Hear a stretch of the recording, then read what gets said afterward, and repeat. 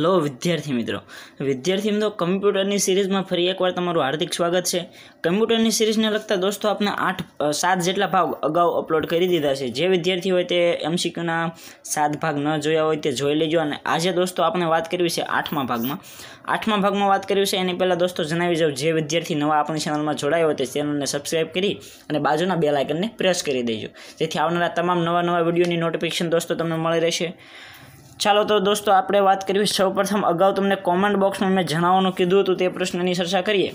તો પ્રશ્ન હતો કે ભવિષ્યમાં, એટલે કે આવનારા સમયમાં, વિશ્વનું સૌથી ઝડપી સુપર કમ્પ્યુટર કઈ બે કંપની બનાવનાર છે? એટલે જે કંપનીનો કરાર થઈ ગયો છે અને તે બનાવવાની છે. તો તે કઈ કંપનીનું નામ છે દોસ્તો?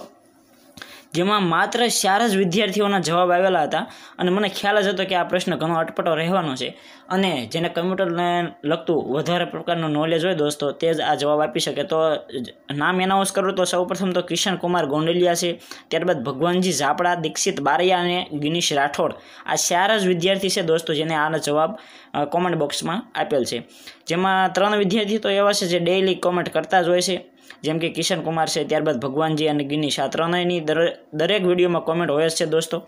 ચાલો આગળ વાત કરીએ આજના પ્રશ્નોની કે સૌ પ્રથમ એકસો ને એકતાલીસમાં નંબરે આપણે પહોંચ્યા છે કે કઈ લેંગ્વેજમાં નેમો, કઈ લેંગ્વેજમાં નેમોનિકનો કોડ વપરાય છે? દોસ્તો, નેમોનિક નામનો એક કોડ હોય છે અને લેંગ્વેજ પૂછેલી છે આપણને કે કઈ લેંગ્વેજમાં નેમોનિક નામનો કોડ વપરાય છે? તો એસેમ્બલી નામની લેંગ્વેજ હોય છે, તેમાં નેમોનિક કોડ વાપરવામાં આવે છે.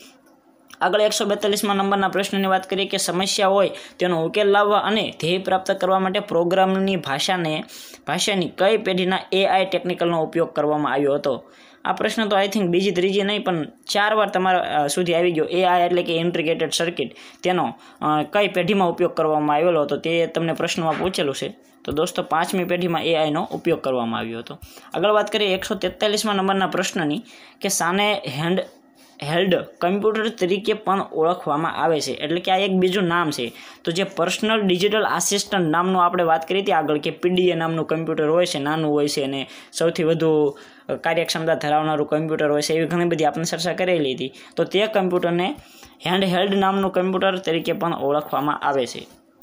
ચાલો આગળ વાત કરીએ એકસો ચુમ્માલીસમાં નંબરના પ્રશ્નની કે કૃત્રિમ બુદ્ધિનો ઉપયોગ કઈ કમ્પ્યુટરની પેઢીમાં થયો તો દોસ્તો, કૃત્રિમ બુદ્ધિ એટલે એઆઈ સમજી લેવાનું છે અહીં. અહીં જો એઆઈનો ઉપયોગ પાંચમી પેઢીમાં થયો હતો, તે જ રીતે આ પ્રશ્ન ફરીવાર એકવાર રિપીટ થયો છે કે કૃત્રિમ બુદ્ધિનો ઉપયોગ પાંચમી પેઢીમાં થયો હતો. ત્યારબાદ ટ્રાન્ઝિસ્ટરનો ઉપયોગ વેક્યુમ ટ્યુબનો ઉપયોગ, દોસ્તો, દરેક ઉપયોગ આપણે જોઈ લીધા છે રિવિઝન કરતા રહેજો. આગળ વાત કરીએ એકસો પિસ્તાલીસમાં નંબરના પ્રશ્નની કે સોફ્ટવેરની દ્રષ્ટિએ યંત્રની ભાષા કઈ પેઢીમાં ઉપયોગમાં લેવાતી હતી? એટલે કે યંત્રની ભાષા છે જે સોફ્ટવેરની દ્રષ્ટિએ કઈ પેઢીમાં ઉપયોગમાં લેવાતી હતી. તો પ્રથમ પેઢીમાં તેનો ઉપયોગ કરવામાં આવતો હતો. આગળ એકસો સત્તાલીસમાં નંબરના પ્રશ્નની દોસ્તો વાત કરીએ કે વિશ્વનું સૌપ્રથમ મિકેનિકલ કેલ્ક્યુલેટર કોને બનાવ્યું હતું? નહીં કે કમ્પ્યુટર. દોસ્તો, અહીં કેલ્ક્યુલેટર વિશે પૂછેલું છે. તો બ્લેઝ પાસ્કલ નામના જે વૈજ્ઞાનિક હતા, તેને વિશ્વનું સૌપ્રથમ મિકેનિકલ કેલ્ક્યુલેટર બનાવ્યું હતું. આગળ વાત કરીએ એકસો સુડતાલીસમાં નંબરના પ્રશ્નની કે ઇન્ફોસિસની સ્થાપના કોને હતી? તો દોસ્તો, ઇન્ફોસિસ એ કમ્પ્યુટરની સૌથી મોટી કંપનીમાંની એક ગણાય.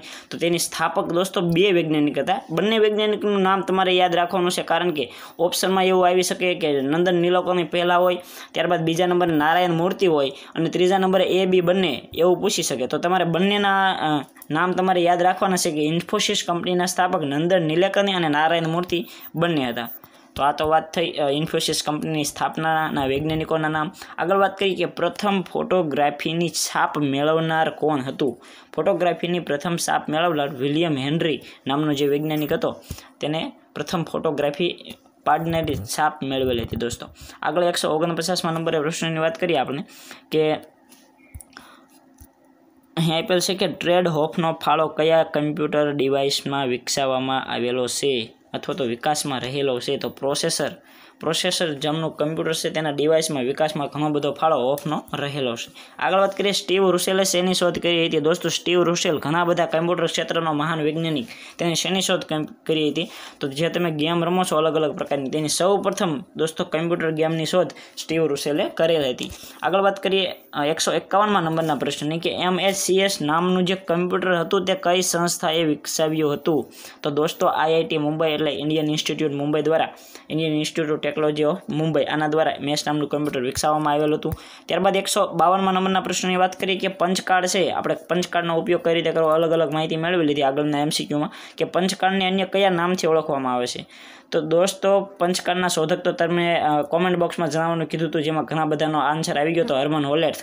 તો તેને હોલેર્થ કાર્ડ તરીકે પણ ઓળખવામાં આવે છે અને આઈબીએમ કાર્ડ તરીકે પણ ઓળખવામાં આવે છે. તો આ ઘણું ઇમ્પોર્ટન્ટ તમારા માટે બની શકે. ત્યારબાદ વાત કરીએ એકસો ત્રેપનમાં નંબરના પ્રશ્નની કે યુનિક્સ ઓપરેટિંગ સિસ્ટમ કોને વિકસાવી હતી? દોસ્તો, યુનિક્સ ઓપરેટિંગ સિસ્ટમ વિકસાવવામાં બે વૈજ્ઞાનિકનો ફાળો હતો. જેમાં પ્રથમ હતો કેન થોમ્પસન અને ત્યારબાદ હતો ડેનિસ રિસી. આ બંને વૈજ્ઞાનિકોએ યુનિક્સ નામની ઓપરેટિંગ સિસ્ટમ સિસ્ટમ વિકસાવી હતી. ત્યારબાદ આગળ વાત કરીએ એકસો ને ચોપનમાં નંબરના પ્રશ્નની, કે સ્માર્ટફોન અને પર્સનલ જે કમ્પ્યુટર હોય તેનું વર્ણસંકટ સ્વરૂપ કયું છે? એટલે કે સ્માર્ટફોન અને જે આપણે પર્સનલ કમ્પ્યુટર નાના કમ્પ્યુટર વાપરતા હોય છે, તેની જેવું જ એક બીજું સ્વરૂપ તેનું કયું છે? તો દોસ્તો ટેબ્લેટ છે તે તેનું બીજું સ્વરૂપ ગણાવી શકાય. આગળ વાત કરીએ એકસો પંચાવનમાં નંબરના પ્રશ્નની, કે કમ્પ્યુટર ક્ષેત્રનો નોબલ પ્રાઇઝ એવોર્ડ એટલે કયો એવોર્ડ? એવોર્ડનું નામ જણાવો. દોસ્તો, આ ઘણો બધો ઇમ્પોર્ટન્ટ સાબિત થઈ શકે તમારા માટે.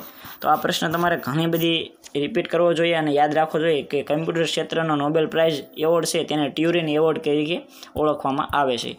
આગળ વાત કરીએ ફોટાનું પૂરું નામ જણાવો. એફ ઓ ટી એ એટલે કે ફિલ્મવેર ઓવર ધ એર જેનું પૂરું નામ થાય છે. ત્યારબાદ એકસો સત્તાવનમાં નંબરના પ્રશ્નની વાત કરીએ કે કઈ કંપનીનું વડું મથક કેલિફોર્નિયામાં આવેલ નથી દોસ્તો? આ પ્રશ્ન તો ઘણો બધો તમારા માટે ઉપયોગી થઈ શકે છે અને મેં તમને ઓપ્શન પણ અહીં આપી દીધેલા છે. તો દોસ્તો, આ પ્રશ્નનો જવાબ તમારે કોમેન્ટ બોક્સમાં જણાવવાનો છે. ગૂગલ એપલ એમેઝોન અને ટ્વિટર કે કઈ કંપનીનું વડું મથક કેલિફોર્નિયામાં આવેલ નથી? બરોબર છે દોસ્તો? આગળ વાત કરીએ યુનિકોડ માટે કઈ સંસ્થા કામ કરે છે? તો યુનિકોડ માટે યુનિકોડ માટે યુનિકોડ કોન્ફોર્ટ કોન્સોર્ટિયમ નામની જે સંસ્થા હોય છે તે કામ કરે છે. આગળ વાત કરીએ ઓ એચ એનું પૂરું નામ જણાવો, એટલે કે ઓપન હેન્ડસેટ ઓથોરિટી આ તો સાવ ઇઝી છે દોસ્તો, યાદ રહી જશે. આગળ વાત કરીએ એકસો સાઠમાં નંબરના પ્રશ્નની, કે નીચેનામાંથી કયું પરમ સિરીઝનું કમ્પ્યુટર નથી? પ્રથમ નંબરને છે પદ્મ, ત્યારબાદ બીજા નંબરે યુવા, ત્રીજા નંબરે શક્તિ અને ચોથા નંબરે શાવક આનો જવાબ પણ દોસ્તો તમારે કોમેન્ટ બોક્સમાં આપવાનો છે. જેના જેના મેં દોસ્તો બે તમારા માટે પ્રશ્નો થઈ ગયા, કે પ્રથમ પ્રશ્ન કઈ કંપનીનું વડું વડું મથક કેલિફોર્નિયામાં આવેલ નથી તે પહેલો પ્રથમ પ્રશ્ન પ્રથમ પ્રશ્ન અને બીજો પ્રશ્ન કે નીચેનામાંથી કયું પરમ સિરીઝનું કમ્પ્યુટર નથી? બંને પ્રશ્નના જવાબ તમારે કોમેન્ટ બોક્સમાં આપવાના છે અને તેમજ આ બંનેનો જવાબ આપણે આવતા વિડીયોમાં જોઈશું. તો thank you for watching this video Vande Mataram. Bharat માતા કી જય. મિત્રો, વીડિયો ગમ્યો હોય તો વિડીયોને લાઇક કરવાનું ચૂકશો નહીં.